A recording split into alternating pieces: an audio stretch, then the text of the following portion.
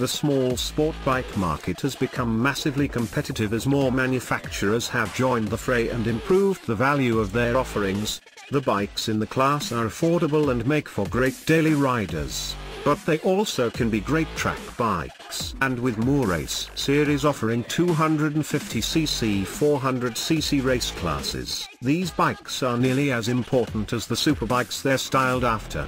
It's competition that brought us the new 2018 Kawasaki Ninja 400. And Kawasaki has just the video to prove my point. A major redesign of the current Ninja 300. The 2018 Ninja 400 features an all-new 399cc parallel twin that Kawasaki claims will produce 45 horsepower at 10,000 RPM and 28 pound-feet of torque at 8,000 RPM.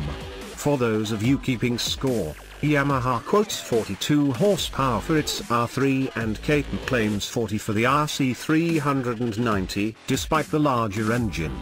Kawasaki says weight is down for the new unit, dropping a little over 2 pounds from the outgoing 300.